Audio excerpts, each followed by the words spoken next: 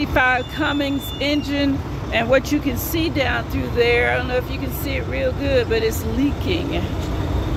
See, here's the water, but he has a hose that's leaking, but he think he can repair it himself. Good idea, nice looking big rig though.